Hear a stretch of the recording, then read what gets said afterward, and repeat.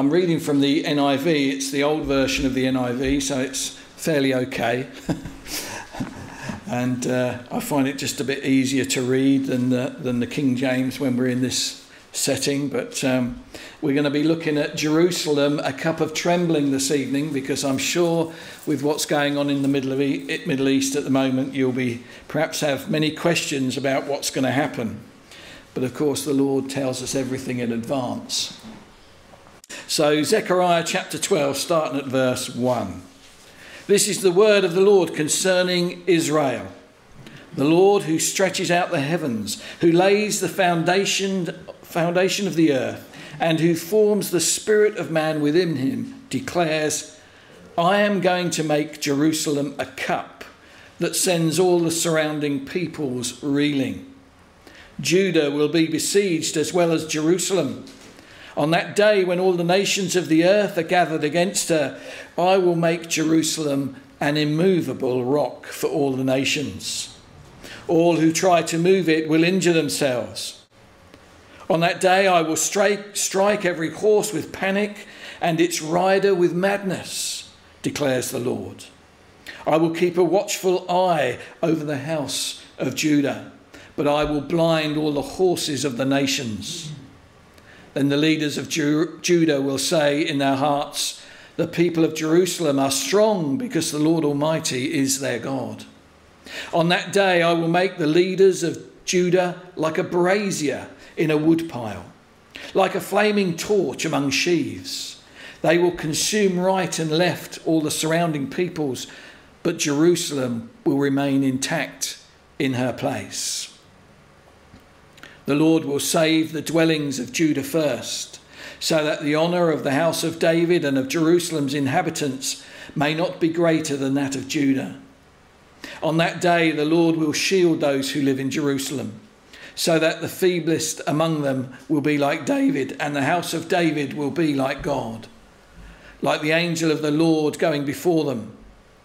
On that day, I will set out to destroy all the nations that attack Jerusalem. And I will pour out on the house of David and the inhabitants of Jerusalem a spirit of grace and supplication they will look on me, the one that they have pierced, and they will mourn for him as one mourns for an only child, and grieve bitterly for him who grieves for a firstborn son. On that day, the weeping in Jerusalem will be great, like the weeping of Hadad Rimmon in the plain of Megiddo. The land will mourn, each clan by itself, with their wives by themselves the clan of the house of David and their wives, the clan of the house of Nathan and their wives, the clan of the house of Levi and their wives, the clan of Shimei and their wives, and all the rest of the clans and their wives. May the Lord bless that word to us this evening. So, tonight we're going to look at Jerusalem, a cup of trembling a cup that's going to send the nations reeling. Well, Jerusalem and, of course, Israel has been in the news rather a lot lately. I'm not quite sure why. Uh, but uh, you, you would certainly um, think that they were up to something, wouldn't you? But we have seen them in the news uh, a lot lately because of Gaza. But uh, this, this week we have seen them in the news for a different reason, and that's because of their turning towards Iran or Iran has certainly sort of tried to flex its muscles, as you might say. And uh, I think it's very interesting that God protected Israel using other people as well uh, from over 300 missiles, and not one of them uh, managed to cause any harm. And then Israel, in retaliation, uh, and we, we know now, looking in hindsight, Israel could have wiped out Iran in one blow, really, I think, the other night. But it chose to just land two missiles in a, a very um, interesting place right next door to their nuclear facilities, just taken out an airfield, uh, and basically said, if you want any more, come on. Uh, they've laid down the gauntlet, I think you'll say, but they have done enough to show Iran that they're not in the same league as Israel is. But of course, Israel has got that secret weapon, hasn't it? God on its side. And uh, although there is a lot to be uh, still to happen out there, um, we know that time is running short. The, the rapture is coming, and the, the Lord will come again and uh, take Israel, those that are left, uh, to be his people. Well, Jerusalem, of course, is one of those capital cities. In fact, I would almost say it's probably the only capital city that has had such a checkered past that this one has. You know, Jerusalem is the capital of Israel, whether we like it or not. I like it personally, I think it's the proper thing, but there are many in the world that don't recognize Jerusalem as Israel's capital uh, and they want to take it away, they want to divide it up. And that's nothing new because we've seen that throughout history. Mahmoud Abbas took it to not only the EU and the UN, he wanted Jerusalem to be recognised as their capital, but it wouldn't be done. But it is split at the moment. Uh, it didn't need to be, but Israel, if you like, in their kindness after the 67 war, gave back uh, parts of it that they didn't need to. The UN now is looking at Israel again. I'm sure that they will be looking at uh, Jerusalem itself. Of course, a few years ago, we had uh, Jerusalem thrust into the uh, news with President Trump saying, I'm going to move the embassy into Jerusalem. And of course, that caused quite a kickback, didn't it? And yet, there are a number of other countries, probably small countries, but there are a number of countries that followed suit. Unfortunately, the UK wasn't one of them.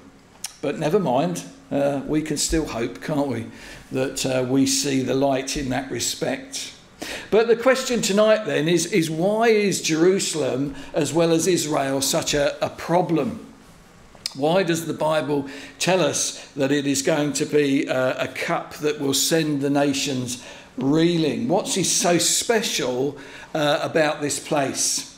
Well, I want, to, I want to start by giving you some of the history of Jerusalem and how it came about, how it came to be the capital of Israel, and uh, then look at some of the prophecies about Jerusalem, some that have been fulfilled, some that are still to be fulfilled, and then, uh, well, we'll bring that to a, a, conclusion, and hopefully you will have a, a good understanding of uh, why Jerusalem is the place it is and the problem it is.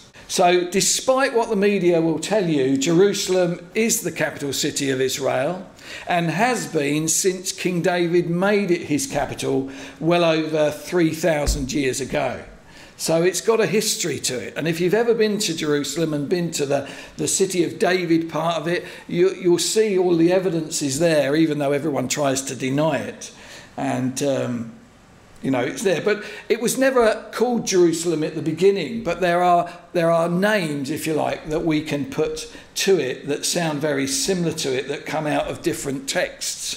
For instance, the, um, the execration text, as they're called, of the Middle Eastern, sorry, the Middle Kingdom of Egypt that was around. Um, 1900 years before Christ, so that's nearly 4,000 years ago now, uh, they called the city uh, Jerusalem. Jerusalem. Although it's um, not necessarily everyone will say that Jerusalem was actually Jerusalem, but there is uh, a good chance that it was. Uh, and then in uh, Amarna letters, uh, going back to 1330 BC, there, there was a slight change uh, in name. It was called Jerusalem, beginning with a, a U. So you can see there's a, a similarity there.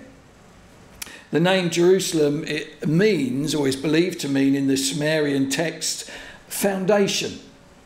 It means foundation. It means to lay a cornerstone. And isn't that what God did? He laid a cornerstone in Jerusalem. He put his name there. And that was going to be his name. So we can say that that may well be a, a true statement there when we call it the cornerstone. After all, if you look at the map of the world, Israel is bang in the middle of the whole world. Uh, and I think that's a deliberate thing, personally, by God. Um, if we go to the Bronze Age, uh, we will see that um, the, the people of that time called this place Shalem the Shalem, and that was named after their god in the Bronze Age times, Shalem. So you can see that the name Jerusalem has had links back to at least three or four thousand years. The form Jerusalem or Jerusalem, which obviously is what they call Jerusalem today, first appears in the Bible, actually in the book of Joshua. And uh, according to the Midrash, it's a combination of the name Yahweh and Yireh. Yahweh and Yireh, in, which really means God will see to it. And uh, of course, it is the name that Abraham was actually given, if we look at it properly, uh, where he was going to sacrifice his son. He was going to Shalem. And uh, of course, we know that he went to Mount Moriah. And Mount Moriah is right in the smack centre, as you might call it, of Jerusalem. There are many other writings as well that date back which uh, show that Jerusalem has been there and it's always had a Hebrew foundation there is an inscription that says, I am Yahweh thy God. I will accept the cities of Judah and I will redeem Jerusalem. Uh, that comes out of some of the old Hebrew um, writings. And uh, they suggest that Yahweh is the God of the whole earth. The mountains of Judah belong to him, to the God of Jerusalem. So even in the ancient Hebrew text, they called God the God of Jerusalem. It's where he is, it's where he placed his name, it's where his temple uh, was, of course. So it's got quite a history. Shalim or Shalem was the name of the god of dusk in the old days in the Canaanite religions. Um, it seems to me that they had a god for just about everything. It's uh, let's have a god of dusk. That must mean we have a god, god of daybreak and stuff like that. But Shalim or Shalem was the god of dusk. And they have a root meaning there, the S and the L and the M, which the Hebrew words quite often are made out of the same letters, uh, mean or make up the word peace. So Shalem is or has a meaning or uh, comes out of the word peace, um, which of course uh, many people greet uh, people with peace, don't they, these days? So the name Jerusalem has quite a history to it. Judges 9 19, verse 10 says, But unwilling to stay another night, the man left and went towards Jebus, that is Jerusalem, with his two saddled donkeys and his concubine. I'm not going to go into the whole story of that, but it's just to know that there has been different names for it, but it's the same place. And uh, it's also been known as the Fortress of Zion. And uh, of course, David renamed it as the City of David long time ago. And of course, I suppose for us, the well known thing that we would probably all think about is the story of Abraham and Melchizedek. Because Melchizedek, Melchizedek was the king of Salem. And of course, that is the place where now Jerusalem is. And of course, Melchizedek, being the great high priest, is none other than Jesus Christ himself in Genesis 14, verse 18. And if you read that story of Melchizedek, it's very interesting how Melchizedek brought out to Abraham bread and wine and stuff, obviously pointing to what we would call the communion today, towards his death and things like that. But that's another story. So, Jerusalem uh, has a long history and it has been called many times. In fact, during that long history, Jerusalem has been attacked 52 times. Um, it has been captured and recaptured 44 times, you know, it's almost like you keep your baggage in the van just ready to go back out again because you're going to lose it soon, aren't you? If you were one of those that was um, after it. It's been besieged 23 times, and by that I mean they've laid siege to it. There have been long campaigns uh, to, to, um, to, to, to take it. It has been totally destroyed twice. Uh, the oldest part of the city was settled back in the fourth millennium, so 4,000 years before Christ, making Jerusalem one of the oldest cities in the world. Very interesting, I think, that uh, this city is that old and uh, has become uh, what it is today. Of course, the city of Jerusalem is far bigger now than what it was originally. Uh, it was quite small originally when it was the city of David, but it has grown beyond belief. In fact, uh, it has now grown so big that it covers seven mountains, seven hills. Um, they wouldn't call them mountains the way we would call a mountain a mountain, but they are over the thousand feet, all of those hills, but seven, uh, seven hills, um, which I think is quite interesting as well. It's also a city that's important to three major religions. Uh, of course, Judaism is important. It's very central to Judaism because of its links to Abraham, because of its links to King David. I suppose it's quite obvious because um, Solomon built the temple there as well.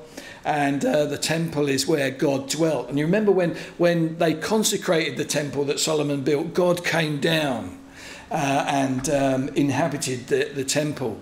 And it's also very uh, interesting and um, sad that in the book of Ezekiel, when you look at the book of Ezekiel, and, and all of the, uh, the, or the majority of the people had been carted off by the Babylonians, but they'd left a remnant there, uh, and that remnant was doing things that were disgusting in God's sight. God didn't like it at all. And He said, I'm going to bring uh, another group of people against you. I'm going to bring my wrath against you. And all the way through Ezekiel, um, Ezekiel gives them these little pictures that he's told to do. You know, he's told to make this thing that looks like Jerusalem with a ramp up it. He's told to put sticks together. He's told to lay on his side. And all these things were supposed to convey to him the coming wrath of God. And they just went, yeah, but that's in the distance. That's in the distance. And they never took any notice of him until all of a sudden, of course, God's wrath did come. Uh, and it's interesting to note that before that wrath came, God sent a man in there with uh, pen and ink to mark people, people who were still faithful to God, a remnant of people who were saved when the others were killed. So it's got quite a history, but it's very important to Judaism because of those links. Of course, Islam would claim it to be theirs. Uh, they consider it to be a, a, sacred site, but I gather in, the, in all of the um, Islamic texts, Jerusalem actually isn't mentioned which I find quite interesting. And yet, it's one of those those places. It's supposed to, I believe, be the place uh, at the Al Aqsa Mosque where um, Muhammad on his horse flew up to heaven, or something like that, and that makes it um, very significant for them. And so they go and pilgrimage there. So um, you know, in their traditions, it's very important to them.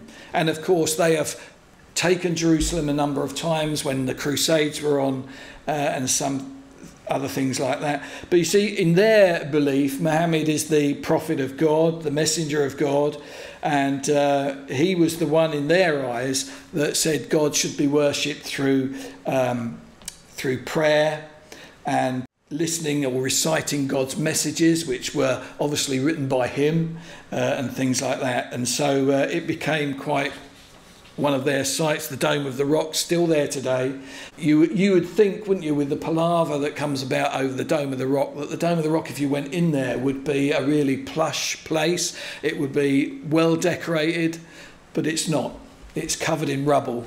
It has been uh, almost torn apart. They don't take that. It's there just as show so that the uh, Muslims can come and say the Dome of the Rock is ours. They don't. They're not really interested in it uh, at all, I believe. But it has become what you would call a pillar of Islam uh, that you need to, to go there and, and sort it out. And then, of course, it's important to us as believers, isn't it? As Christians, the Christian tradition. It's, of course, the place where Jesus died. It's, it's the place which surrounds the Old Testament. It's the place where the temple was. And all these things are, if you want to call it, sacred to us as Christians. It's the place where Jesus rode into on his on on his donkey on that uh, on that day. It's it's the day when he the place where he cleansed the temple. It's the place where he had the Last Supper. It's so important to to Christians, and of course, it's the place where he was resurrected from the dead. And uh, if you've ever had the opportunity to go around Jerusalem and see the sites, uh, it's well worth going. They're not all obviously the proper sites but at least you get to see what Jerusalem was all about. So it's got quite a history to it. And it's important to many people in the world because of their, their religions, no matter what we think of them. And there are many prophecies in Scripture that concern Jerusalem. In fact, Jerusalem is mentioned in the Bible over 800 times. And uh, as I said, it's built as a city on seven hills.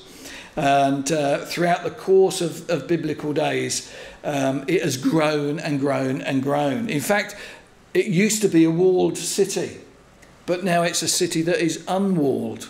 And of course, that becomes quite prominent in the last days, doesn't it? Let me just give you a, a, some prophecies about Jerusalem. In, in 2 Kings 21, verse 7, it says, In this temple and in Jerusalem, which I have chosen out of all the tribes of Israel, I will put my name forever. Forever. There's something eternal about that, isn't there? Um, it means that God will not take his name from it. He will not give his name to somewhere else. That name is in Jerusalem forever. The psalmist also tells of how God looks upon the city, the city that has his name. In Psalm 122, verse 6, we read, Pray for the peace of Jerusalem. May those who love you be secure. I wonder what that means when we ask God to pray for the peace of, of, of Jerusalem, because it will not know peace. It will not know peace right through the tribulation. So, what are we actually praying for? I think that when God says pray for the peace of Jerusalem, or the psalmist says it, he's saying pray that God will come back to Jerusalem, that Christ will return. But that's open to, to speculation, I, I'm sure. Psalm 125, verse 2 says, As the mountains surround Jerusalem, so the Lord surround his, surrounds his people both now and forevermore. You know, I d- I don't know whether you've heard on the news, they don't usually put much out there, but you hear through different media how God's hand has been on Jerusalem over these past uh, few years with all the rockets flying. I did hear one story, a true story, of how the Iron Dome uh, I won't say it failed, but I think at this time they were reloading or doing something so it wasn't operationally ready. And a missile was coming across and they could track where it was going to go and they believed it was going to land on the hospital in Tel Aviv. Uh, well, of course, that would have caused a lot of devastation. And so they were just watching and getting ready for the bang, if you know what I mean. And, and a huge wind literally came in and pushed the missile off course into the sea. You know, God's hand, I believe, at work uh, over that place. Psalm 147, verse 2 also says, The Lord builds up Jerusalem, he gathers the exiles of Israel. And then, of course, a, a, verse that we know so well, don't we, in Zechariah 9 9. Rejoice greatly, daughter Zion. Shout, daughter Jerusalem. See, your king comes to you righteous and victorious, lowly and riding on a donkey, on a colt, the foal of a donkey. We all know that verse, I'm sure we know it well, of course, because every year we spend a Sunday, don't we, looking at the triumphal entry into Jerusalem. They're things that have been said about Jerusalem. But what about prophecies that are still to be fulfilled? Some interesting ones. In Joel, for instance, in Joel 3, verses 17 through to 21, we, re- we read, Then you will know that I, the Lord your God, dwell in Zion, my holy hill. Jerusalem will be holy. Never again will follow foreigners invade her. In that day, the mountains will drip new wine, and the hills will flow with milk. All the ravines of Judah will run with water. A fountain will flow out of the Lord's house and will water the valley of the acacias. But Egypt will be desolate, Edom a desert waste, because of violence done to the people of Judah, in whose land they shed innocent blood. Judah will be inhabited forever, and Jerusalem through all generations. Shall I leave their innocent blood unavenged? No, I will not. The Lord dwells in Zion. That can only be a prophecy for the future because we know uh, from what it says that those things have not happened yet. Um, you know, foreigners are still invading through missiles and, and uh, other means. We, although we see uh, Israel is, is a land of milk and honey, it's not doing what it says here about the mountains dripping with new wine, the, the hills flowing with milk, the ravines running with water. That's still to come. We don't see Egypt yet desolate. We don't see Edom a waste, still to come. So there is much more to happen with Jerusalem. It's going to go through uh, a rough time. But Judah will be inhabited forever and Jerusalem through all generations. The world goes on its marches, doesn't it? Uh, you know, and telling us, uh, you know, from the river to the sea, let's let's sweep them away. Let's do away with Israel. Let's let's create a two uh, two state solution that will get rid of Israel, because that's what it will end up doing. Um, but Israel is going nowhere. Jerusalem is going nowhere because God has His hand upon it, and He has promised. He has promised that it will be inhabited forever. Forever. And of course, that means that during the millennial reign of Christ, the Israelites who come to know Jesus will be there and they will be worshipping him in Jerusalem as well. It's a future prophecy, and uh, we will one day see that being fulfilled. But I believe that that prophecy will only be fulfilled at the beginning of the millennial age when, when God brings his wrath upon the nations and he allows them to live in peace. In Micah chapter 4, verse 1, we read In the last days, the mounting of the Lord's temple will be established as the highest of the mountains. I will be exalted above the hills, and the people will stream to it. Many nations will come and say, Come, let us go to the mountain of the Lord, to the temple of the God of Jacob.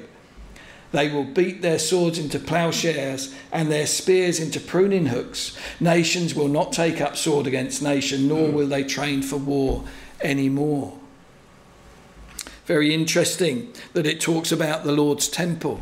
This is not the temple that will be up and running for the tribulation period or halfway through that's not going to be the Lord's temple. It may be built by the Jews, but God is not going to inhabit that temple. That will be given over to the Antichrist. So this will be a fourth temple, really, won't it? This will be a God's holy temple. It'll be a temple that He builds, I believe, uh, and that people will come up to and will exalt His name as people stream to it during the millennial reign of Christ. In Zechariah 1, verse 14, we read Then the angel who was speaking to me said, Proclaim this word. This is what the Almighty says I am very jealous for Jerusalem and Zion. This is what the Lord says I will return to Zion and dwell in Jerusalem. Then Jerusalem will be called the faithful city, and the mountain of the Lord Almighty, Almighty will be called the holy mountain. It's certainly not a holy mountain or a faithful city at the moment, but one day it will be. One day everything that is unholy will be gone, and God will return, or Jesus will return to Zion. And then, of course, Zechariah 12, which we read at the very beginning, uh, says much, doesn't it? A prophecy, it says, the word of the Lord concerning Israel. The Lord who stretches out the heavens, who lays the foundations of the earth, and who forms the human spirit within a person declares, I am going to make Jerusalem a cup that sends all the surrounding peoples reeling. Judah will be besieged as well as Jerusalem. On that day, when all the nations of the earth are gathered against her, I will make Jerusalem an immovable rock for all the nations. All who try to move it will injure themselves. On that day I will strike every horse with panic and its rider with madness, declares the Lord. I will keep a watchful eye over Judah, but I will blind all the horses of the nations. Then the clans of Judah will say in their hearts, The people of Jerusalem are strong because the Lord Almighty is their God. Notice that it's not because of the amount of weapons they have or the army they have, it's because the Lord Almighty is their God. And on that day I will make the clans of Judah like a fire pot in a wood pile, like a flaming torch among sheaths. They will consume all the surrounding peoples right and left, but Jerusalem will remain intact in her place. Well, that prophecy is certainly one for the future, isn't it? But as it started to come to fruition, are we seeing the chess pieces coming together, the convergence of these things upon the nation of Israel? After all, we could probably say that verse 2 uh, is beginning to be um, fulfilled, where it says, I am going to make Jerusalem a cup that sends the surrounding peoples reeling. We've had in this past week, haven't we? The UN have been coming together uh, to decide what to, get, what to do uh, with with Israel, and, and um, you know the Israelis, of course, state that this is our land, and the Palestinians will claim it to be their land. And there will be many in in uh, in the middle somewhere going, well, I haven't got a clue whose land it is, but I'm going to support the Palestinians, uh, which is what we see, unfortunately, on our streets at the moment. The Pope wants it to be his. He wants Jerusalem. He wants to be in charge of it. The UN has many times voted on Jerusalem, and they don't think it should be Israel's capital. They think it should be a separate entity um, that is governed by the UN or someone that is not Israel or, or otherwise. Well, it's good that people like Trump did recognise Israel's capital as Jerusalem, but they are few and far between at the moment. But it is certainly becoming a city that no one really knows how to deal with. You notice that everyone who tries to come against Israel, who tries to divide the land, who tries to divide the city, always end up worse. The countries that do that have God's judgment upon them. I think it's uh, probably quite well known, really, that every time the Americans try and put forward something that will split Israel into a two state nation, God seems to send a hurricane.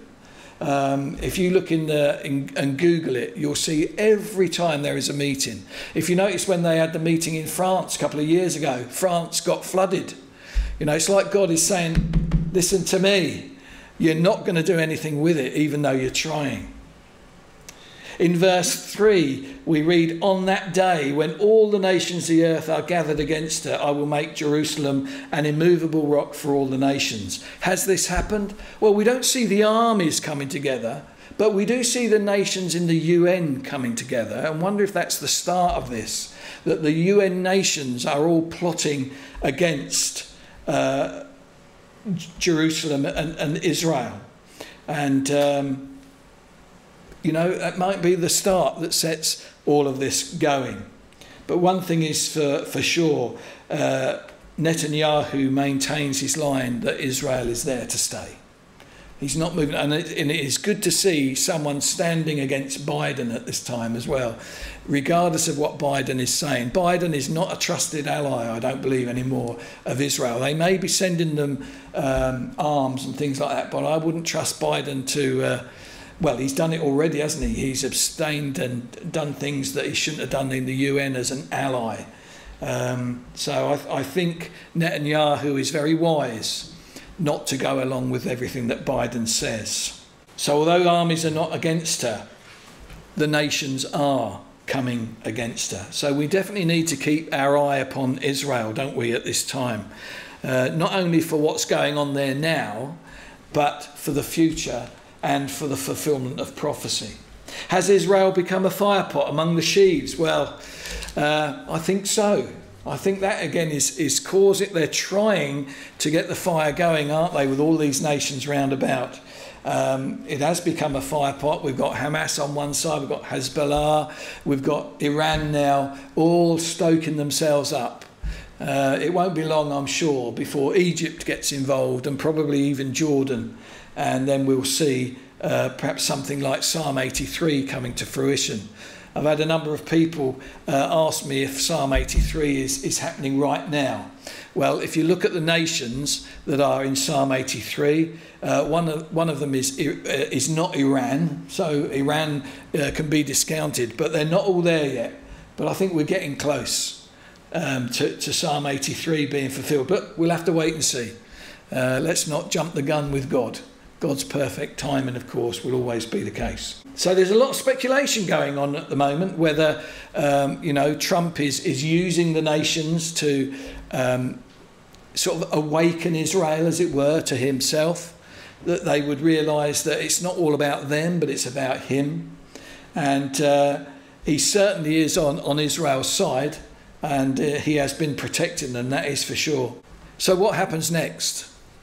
What happens next? Well, Zechariah, who was a prophet uh, of God, was also given this prophecy in Zechariah 2. Verse 1, it says, Then I looked up, and there before me was a man with a measuring line in his hand. I asked, Where are you going? He answered me, To measure Jerusalem, to find out how wide and how long it is. And while the angel who was speaking to me was leaving, another angel came to meet him and said to him, Run, tell that young man, Jerusalem will be a city without walls because of the great number of people and animals in it, and I myself will be a wall of fire around it, declares the Lord, and I will be its glory within. What a wonderful prophecy that is. Well, we know that Jerusalem now is a city without walls. It's outgrown its walls. Uh, and there are a lot of people there. It is a huge city now.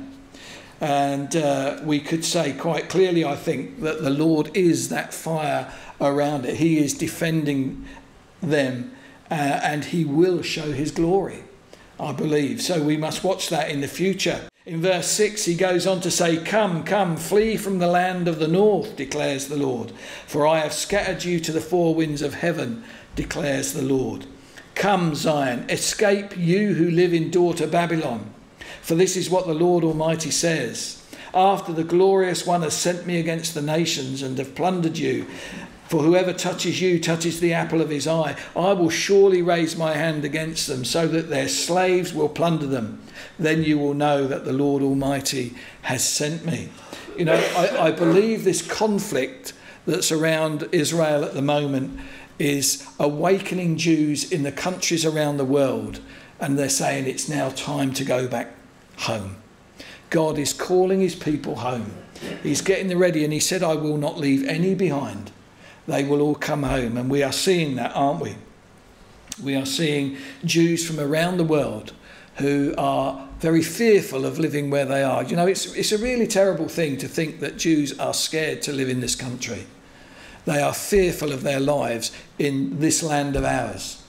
It is such a thing. And yet God is saying, Come back home. Come out from amongst them. Go back home.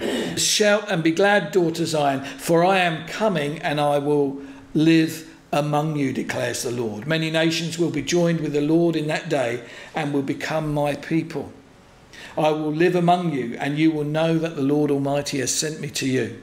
The Lord will inherit, will inherit Judah as a portion in the Holy Land and will again choose Jerusalem. Be still before the Lord, all mankind, because he has roused himself from his holy dwelling. What a wonderful verse that is. Be still before the Lord, all mankind. He's about to show, I believe, uh, in, in the days that lie ahead, that he's going to show his judgment of this world. He's going to reclaim his believing church. He's going to rapture them to himself, and then seven years later, he will come back and he will judge the world and uh, place himself upon that throne of David once again. So, despite what history has done to Israel and Jerusalem, God has not changed his mind concerning them. His promises are ever sure. They are still his people, they are still the apple of his eye, despite what they may do, despite what you may think of them. Uh, again, that's God's grace, really, isn't it? Uh, and Jerusalem is the place where he has placed his name forever. That will not change. Nothing will change that. And yet, the, bit that's still to come is that they're going to go through a devastating time. Zechariah, again in chapter 14, says, A day of the Lord is coming, Jerusalem, when your possessions will be plundered and divided up within your very walls. I will gather all the nations to Jerusalem to fight against it. The city will be captured, the house ransacked, and the women raped. Half of the city will go into exile, but the rest of the people will not be taken from the city. Then the Lord will go out and fight against those nations as he fights on the day of battle.